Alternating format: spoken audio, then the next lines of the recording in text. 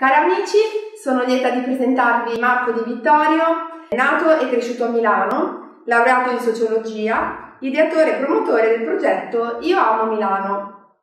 Ciao Marco, grazie. Ciao Ilaria, come stai? Bene, tu? Bene, bene, bene. A parte in quarantena tutti i giorni in casa, effettivamente eh, rimane difficile anche a livello psicologico stare tutto il giorno, però comunque va tutto bene. Sì, anche poi una giornata anche come questa, che è memorabile del 25 aprile, insomma. Infatti, infatti. Eh, poi è anche una bellissima giornata di sole. Stamattina sono uscito un attimo a fare gli acquisti al supermercato ed è una bellissima giornata. Rimanere a casa è un peccato, però ci tocca farlo fino al 4 di maggio, poi speriamo che si possa riprendere una vita alquanto normale. Esatto, dai, speriamo, siamo fiduciosi e ottimisti. Da persona attiva eh, sul territorio di Milano, so che tutti i giorni vai a lavoro in uh, bicicletta e fai delle vere e proprie dirette. Credo che nessuno meglio di te possa conoscere le condizioni ambientali di Milano, quindi ti chiedo che differenza hai notato relativamente all'ambiente, in particolare all'inquinamento, in questo periodo di piena epidemia eh, del Covid-19? Allora, praticamente io in questi due mesi sono sempre andato a lavorare, a parte gli ultimi dieci giorni che mi hanno costretto di fare lo, lo, smart working, quindi fondamentalmente non mi muovo più da casa se non una volta. Comunque nel primo mese e mezzo io sono andato sempre al lavoro in bicicletta, quindi 30-35 minuti in bicicletta e 35 minuti per ritornare. E ho fatto sempre dei, dei, dei video, delle live, facendo vedere com'era la situazione, quindi facendo vedere la persona, il traffico, l'inquinamento e quant'altro. La mia sensazione sull'inquinamento, beh, a parte voglio dire che eh, Milano deserta è anche un po' particolare vederla, comunque è anche affascinante per quello. E ho notato che ovviamente il cielo è un po' più chiaro, meno, meno smog, anche perché in questi due mesi, eh, a causa ovviamente del Covid, c'è meno traffico e anche meno inquinamento dovuto anche al blocco di tutta una serie di attività produttive. Comunque effettivamente ho notato un, un miglioramento anche dell'aria. Andando in bici questo lo noti anche abbastanza velocemente. Poi ascoltando, vedendo anche delle fotografie aeree satellitari, ho notato proprio, soprattutto nel nord Italia, come eh, da, dall'inizio di marzo il, l'inquinamento, praticamente la zona rossa che contraddistingueva l'inquinamento nel nord uh, Italia, si sia notevolmente diminuito. Eh, questa è una bella cosa, diciamo che è l'aspetto positivo di, di tutta questa sì, vicenda. dirlo però è un aspetto positivo del Covid-19, è brutto dirlo, però effettivamente è un aspetto positivo. E invece capita di vedere persone in giro per magari nei parchi, correndo, camminando, perché insomma Milano, eh, tra, se le ricordiamo prima del Covid-19, con gli aperitivi, i navigli sempre pieni di gente, eh, la gente che fa shopping, quindi è un po' veramente molto particolare non vedere più questa situazione. No, infatti io poi sono una persona che fondamentalmente va in giro abbastanza spesso. Allora, all'inizio del, della crisi, diciamo, del Covid, la gente non aveva percepito il pericolo e anche quando eh, la Lombardia comunque era stata bloccata, effettivamente di gente in giro ce n'era e anche molta. E non, non c'era la percezione più che altro. Poi a un certo punto la comunicazione della regione, comunque dello Stato, è stata più incisiva e la gente ehm, si è ridotta drasticamente.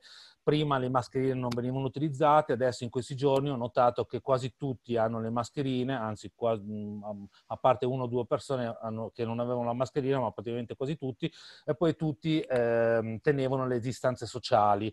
Quindi posso dire che il milanese medio ha eh, diciamo, un senso civico molto alto eh, vedere Milano vuota è, è, è, particolare, nel senso che è un po' spettrale, ha una sensazione, mi ha dato un, a volte una sensazione anche di angoscia, però dall'altra parte sinceramente è stata anche affascinante perché l'ho vissuta andando al lavoro in bicicletta come se fosse totalmente mia, essendo priva di traffico in bicicletta mi sentivo in totale sicurezza, anche perché utilizzando la bicicletta sempre nella, diciamo, nelle giornate normali ti senti un po' in pericolo perché comunque c'è molto traffico. Quindi da una parte angosciante perché vedi Milano vuota, ma dall'altra parte affascinante perché è totalmente tua. È un po' come essere nella settimana centrale di agosto a Milano, quindi vuota e te la senti tua e ci puoi fare quello che vuoi, teoricamente ovviamente. Infatti, ma veniamo adesso al tema della salute, che è tema che per noi di United è molto caro. Volevo dirti e se le persone di Milano si stanno preoccupando un po' per la propria salute. Allora, la mia percezione, sentendo i colleghi di lavoro, comunque sentendo i miei amici, effettivamente la gente è preoccupata sia per quanto riguarda la sanità, quindi il problema di contrarre questa malattia o che la possano contrarre i propri cari, ma anche per il futuro, nel senso l'economia, perché eh, va di pari in passo, sia dal punto di vista sanitario che anche economico. La gente è preoccupata eh, perché ci potrebbero essere molti disoccupati, comunque vediamo in giro che i bar, i ristoranti sono chiusi, gli alberghi sono chiusi e se dovesse durare poco l'emergenza ovviamente si può eh, recuperare abbastanza velocemente, ma se non si trova un antidoto e quindi l'emergenza potrebbe, eh, può durare eh, due o tre anni, ovviamente eh, eh, la gente è preoccupata perché ovviamente ci potrebbero essere un, tantissimi disoccupati, anche se se dura tanto secondo me l'economia si potrebbe convertire nella, in, in, aspetti sanitari, ehm, anche perché, cioè, voglio dire, probabilmente invece di andare al ristorante la gente preferirà comunque prendere il cibo e farselo portare a casa, quindi l'economia cambia, però ci vuole un tempo di transizione tra la vecchia e la nuova economia però comunque la gente è più o meno preoccupata, sia per l'aspetto sanitario che quello economico. Certo, perché comunque le soluzioni dovrebbero essere anche abbastanza veloci, ecco, da trovare, visto che comunque eh chi sì, si trova in difficoltà. Perché effettivamente, o se no, ci saranno milioni di persone se non si trovano delle soluzioni abbastanza immediate che rischiano veramente il posto di lavoro. Pensiamo a tutti i liberi professionisti, comunque tutti i piccoli imprenditori che ovviamente in questo eh, frangente si trovano a zero fatturato. Dal 4 di maggio magari può migliorare, possono migliorare le cose, però io non penso che le persone dal 4 di maggio comincino a viaggiare o comprarsi la macchina o andare al ristorante o altro. Comunque la gente avrà paura di muoversi, sì, si muoverà di più rispetto a oggi, però sempre meno e sicuramente andare a comprare il paio di scarpe in più sarà il, non il secondo problema, il secondo pensiero, ma sarà il decimo o il quindicesimo. È un impatto sociale notevole questo, no? È un impatto sociale notevole. Infatti, secondo me, se dovesse durare tanto il problema del Covid, potrebbe modificare l'aspetto sociale della popolazione mondiale. Quindi, Ma... voglio dire, anche da un punto di vista sociale, di socialità, eh, si cambierà moltissimo. Per esempio, io adesso lavoro in smart working, se prima ero abituato ad andare comunque in ufficio, avere una socialità con i colleghi, eh, tutta una serie di cose, adesso non ce l'ho. Adesso sono a casa, sì, è vero che sento i colleghi via telefono, ma non è la stessa cosa. E quindi bisogna rimodulare tutto, tutta la società totalmente. Poi io sono laureato in sociologia, quindi... Eh, eh infatti chi meglio di te può cercare di trovare delle spiegazioni a riguardo. Infatti.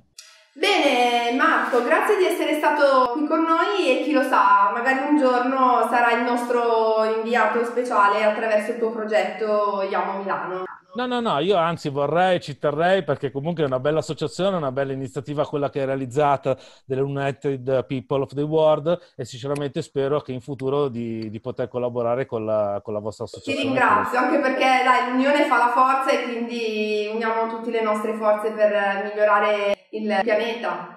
Ma infatti io poi seguendo il progetto Io amo Milano voglio scrivere di eccellenze per proprietà di Milano, quindi potrei essere anche un punto di riferimento per tutta l'area metropolitana. Bene, sono molto, molto contenta. Va bene. Va bene. Okay. Grazie Maria. ancora Marco, ciao, ciao, buona giornata. Ciao, ciao. ciao.